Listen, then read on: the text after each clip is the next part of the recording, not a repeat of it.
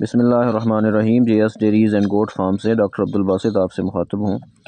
पिछली वीडियो में मैंने आपको बताया था कि हम कुछ गाय अपने फार्म के लिए ख़रीदना चाह रहे हैं और इस सिलसिले में हम जस्ट मिल्क डेरीज़ पे निशान भाई के पास भी गए थे। तो वहाँ पे तो हम जो है वो एनिमल परचेज़ नहीं कर पाए तो अभी हमें एक डॉक्टर साहब से रबता हुआ है और पता चला है कि पिंडी बटिया में एक अमेरिकन काउस का फार्म है जो पूरे का पूरा सेल आउट हो रहा है। तो वहाँ पर अभी हम जा रहे हैं।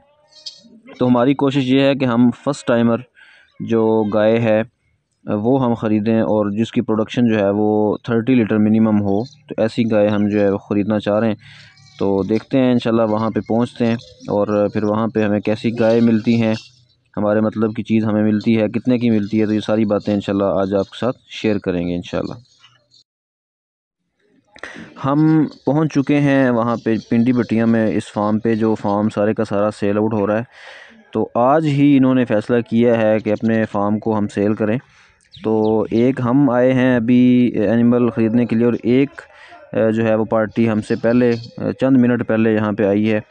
तो इनके पास अभी ये जो है इस साइड पे ये आपको जो नज़र आ रही है, ये सारी सेकंड इलेक्ट्रेशन थर्ड इलेक्ट्रेशन वाली गायें हैं जो कुछ खाली हैं और कुछ प्रेग्नेंट हैं।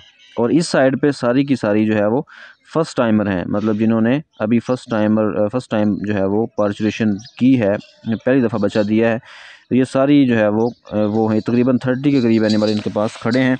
तो हम जो है वो इनमें से जानवर सेलेक्ट करेंगे क्योंकि हमें चाहिए ही फ़र्स्ट टाइमर जो जिसने पहली दफ़ा बच्चा दिया हो, क्योंकि हम चाह रहे हैं कि हम यंग काओ ख़रीदें। यंग काओ ख़रीदने का ये फ़ायदा होता है कि आप उससे मैक्सिमम लैक्टेशन ले सकते हैं।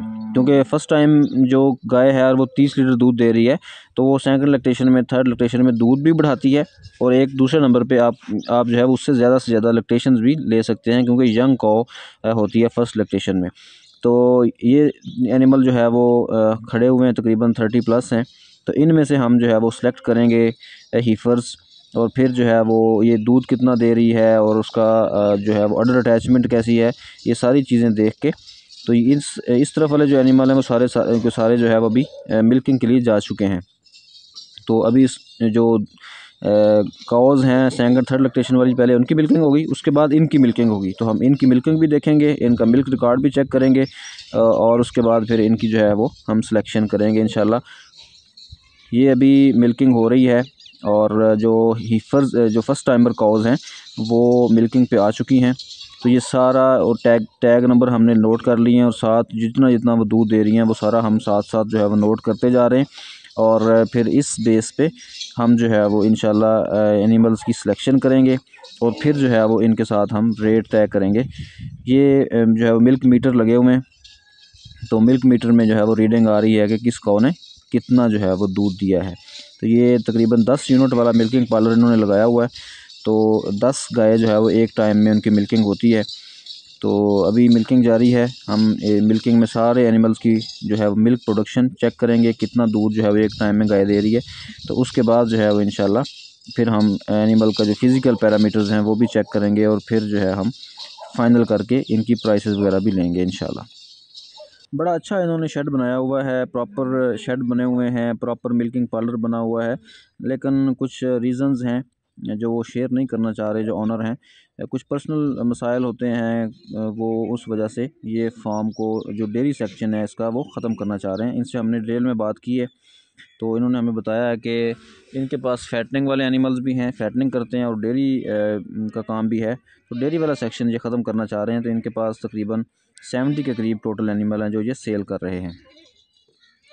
तो ये मिल्किंग जो है वो सब की सब जितनी भी हिफ़र्स हैं, उनका हम मिल्क रिकॉर्ड चेक कर रहे हैं।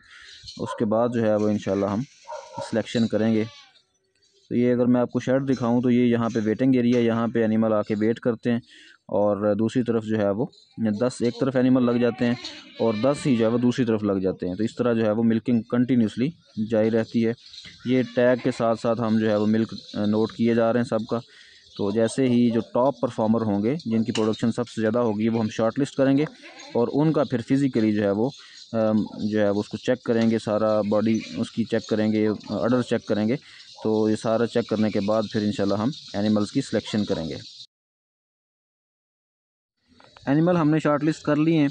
लेकिन हमसे पहले मैंने आपको बताया था कि कुछ लोग आए हुए हैं एनिमल ख़रीदने के लिए तो उन्होंने दस कॉज सेलेक्ट किए हैं। तो अभी मैं जब डॉक्टर उनके पास, जो फार्म ऑनर उनके पास गया हूँ कि हमने ये ये फ़ाइनल किए हैं तो उन्होंने हमें बताया कि इनमें से ये तीन एनिमल जो हैं, ये सताईस सत्तर नंबर है और सताईस सताईस नंबर है और अट्ठाईस तिरासी तो ये तीन पहले ही वो सिलेक्ट कर चुके हैं।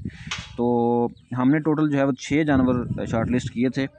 हमने ख़रीदने तीन ही थे लेकिन हमने छः शार्ट लिस्ट किए थे तो छः में से तीन तो उन्होंने सेलेक्ट किए हैं, अब हमारे पास तीन ही ऑप्शन बचे हैं।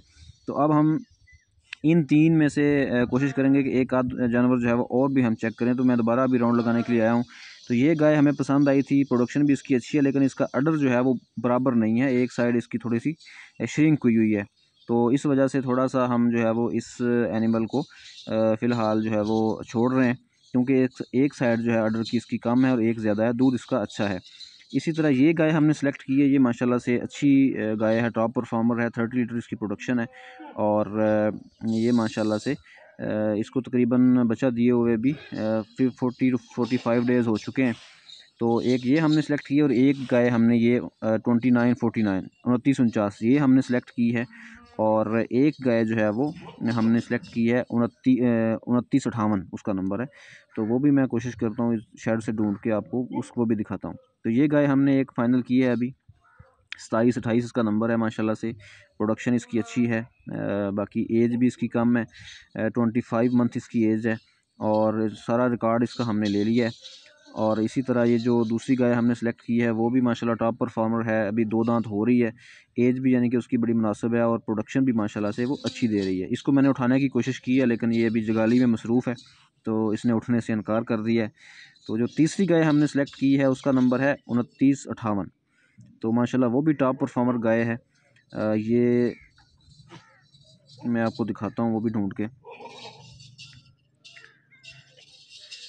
ये तो अट्ठाईस बारह है ये हमने सेलेक्ट की थी लेकिन ये अडर की बराबर ना होने की वजह से हम इसको छोड़ रहे हैं। तो हमने तीन जानवर जो है वो सिलेक्ट किए हैं। तो अभी हम उनसे रेट्स की बात करते हैं कि ये तीन जानवर हमें वो कितने के देंगे। तो ये बड़ी अच्छी बात ये है कि ये दो गाय के साथ एक बछड़ी भी साथ दे रहे हैं। दो गाय के साथ जो है, एक फ़ीमेल बछड़ी जो है वो भी दे रहे हैं। तो ये एक अच्छा फार्मर के लिए फ़ायदेमंद सौदा है। जिससे ये है कि आपको बछड़ी भी एक साथ मिल जाती है दो गाय के साथ। आम तौर पे अगर आप फार्म पे जाते हैं तो आपको नहीं मिलती। ये उनतीस अठावन ये जो गाय हमने सेलेक्ट की, यहाँ बैठी हुई है ये भी मिली है।